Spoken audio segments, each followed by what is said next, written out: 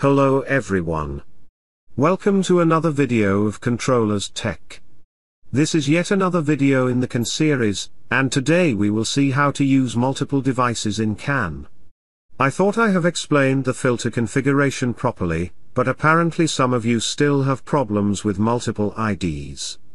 So in this video, I will try to clarify that issue using the three different CAN modules. I am not going to explain everything here, and for that you must watch the previous videos about CAN. This one will typically focus on using multiple IDs, and that's it. So before we jump into the code, let me show you what I am trying to achieve. Here is the picture of the connection. You can see there are three modules, and they are connected to three microcontrollers. Also note that there are 120 ohms resistors connected at each node, just like it was in the previous video. Let's assume that the Nucleo is master, and the other two are slaves. The CAN protocol don't have master and slaves like I2C, but for now we can treat the Nucleo as master, as it is going to request the data from the other two. The Nucleo will request the data from the two slaves, and after receiving the data, it will send it to the UART. So it will be easier for us to see which slave is sending the data. Let's see the code now.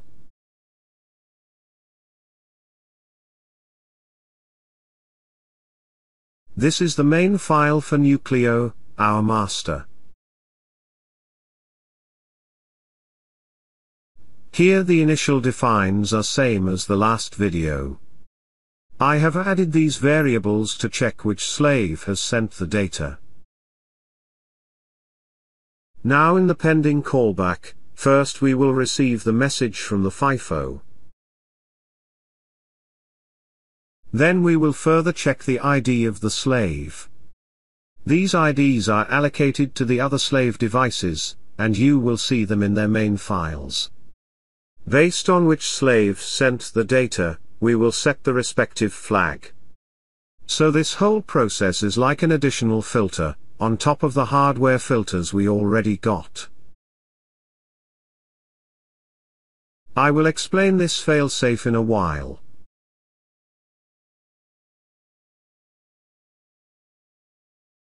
Then we do our usual process. We start the CAN, and configure the TX header. Note here that DLC is 4, as I am going to send 4 data bytes to the slaves. And this is the ID assigned to the Nucleo. Then we will load this particular string in the TX data, and send the message. Now if you remember, we set some flags in the interrupt callback. Basically, if the data is received from the F103, then this flag will set, and if the data is received from F750, then this one will set. In the while loop, we will check if the either of these flags are set. If they are, that means some data has been received, and we will send the data to the UART. And if the data was received from F103, then we will request the next data from F750, and vice versa. This way the communication will be continuous, and we don't need to intervene.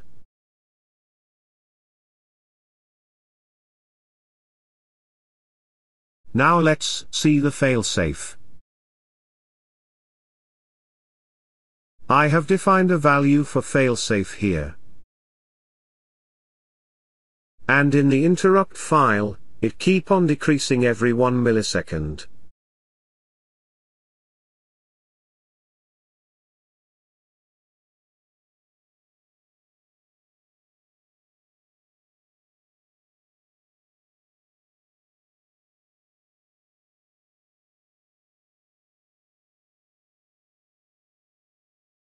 If this value goes less than 0, we will transmit the data again. This is kind of precaution in case of communication failure. Also we need to keep updating this value, so that it doesn't reach zero, and we do that whenever we receive data from the slave.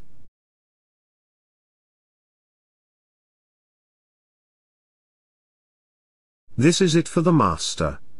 Now let's see the code for the F103, the first slave device.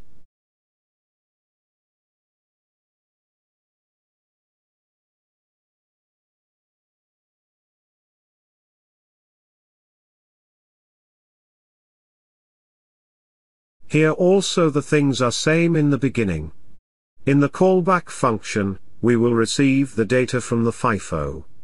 As you know there are multiple devices connected to the same CAN bus, so we want this slave to respond, only when the master requests the data from it. To do that, we need one additional filter, and here it is. We will check the received data from the master. If the data is F103, we will set this flag.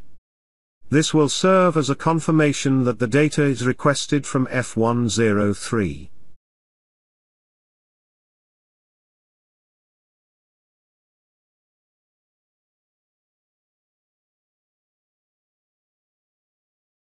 Now if the flag is set, we will turn on the LED. Then send this data to the master.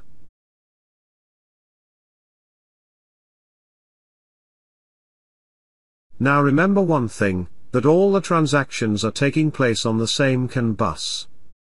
So which data will be received by which device, this will be decided by the filter configuration.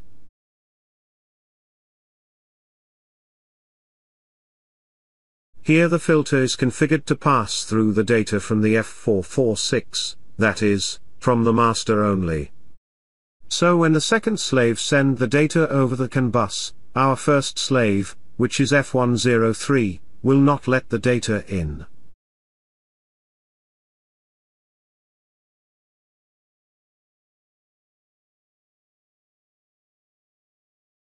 Alright, now we have reached the second slave.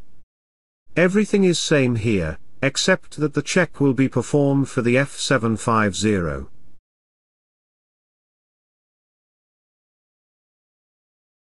By the way, this is the ID for the second slave. I forgot to show it for the blue pill. Here it is 211. I have chosen these IDs for some particular reason, and you will see that in a while.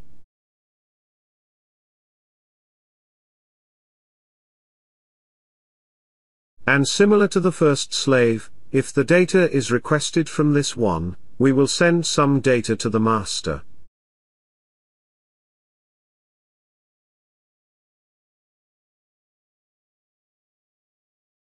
Note here the filter is also configured to pass the message from the master only.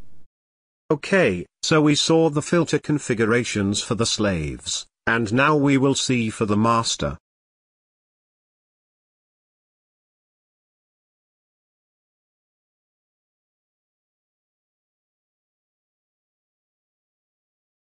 The master is supposed to receive data from the two different slaves, so let's see how the filter is configured for the same.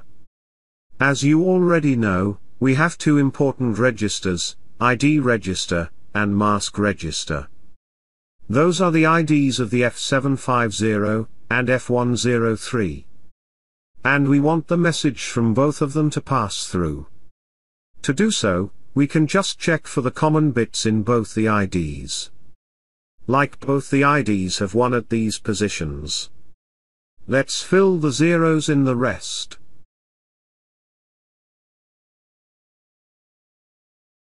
This makes up 201.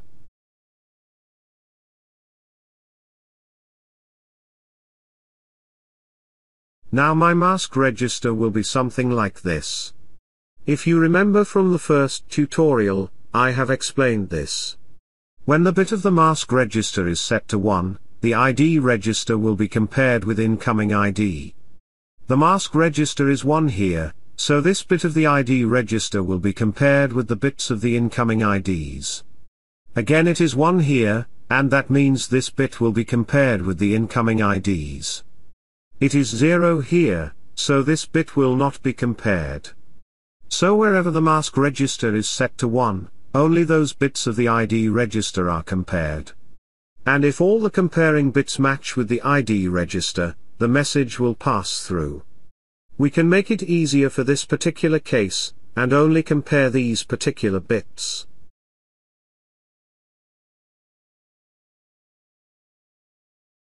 So now only this bit, and this bit, and this will be compared. Because the mask register is only set at these positions.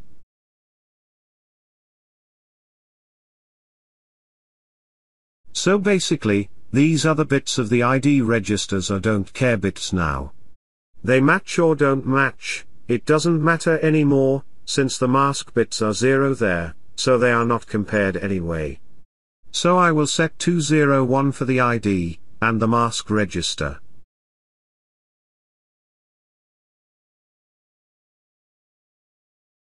Now everything has been explained, so let's see the working.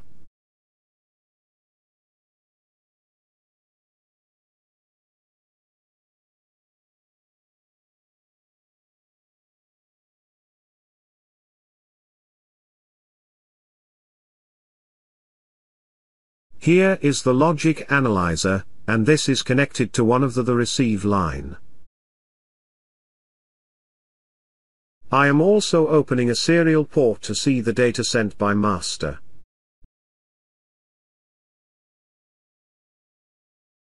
Let's start.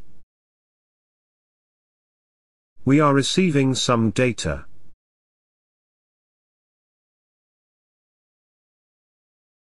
Here you can see the transactions, taking place on the RX line. And you can also see the data from both the slaves. Let's see what's happening on the RX line.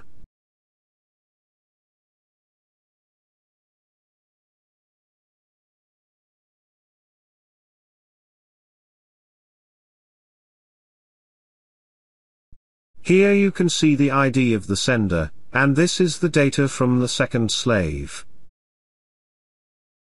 If we check the next transaction, here the data is sent by the master.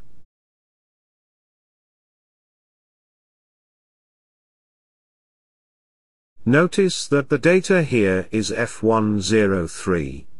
So, the master received the data from the second slave in the previous transaction, and now it's requesting from first slave.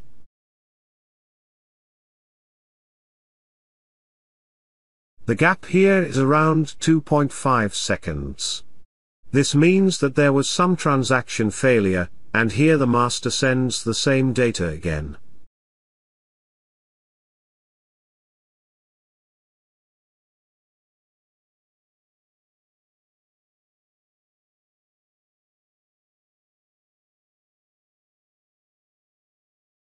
This happened because of the failsafe variable we used. Now the first slave sent the data.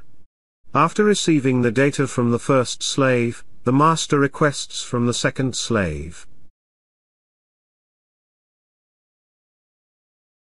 And here is the data sent by the second slave. So this process will keep repeating forever.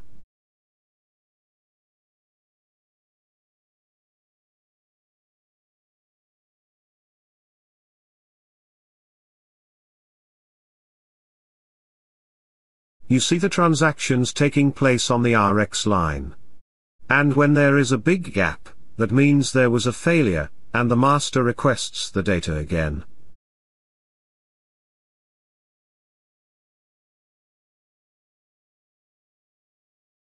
Here you can see the data is updating continuously. So this is it for this video. I hope you understood how to use multiple devices. Especially the part where we configured the filters. I haven't explained every other thing, since they were already covered in the previous videos.